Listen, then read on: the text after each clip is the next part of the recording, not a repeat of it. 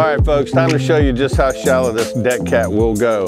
Uh, we got a camera right there placed under here, and we're coming up to it now, and you're gonna be amazed this thing's not even gonna touch the camera.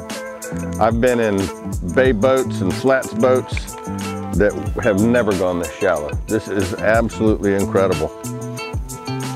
Check this out. This thing amazes me every time I get in it.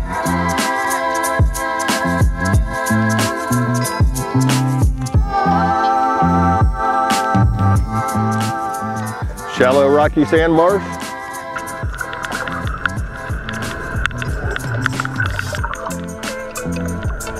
Not a problem.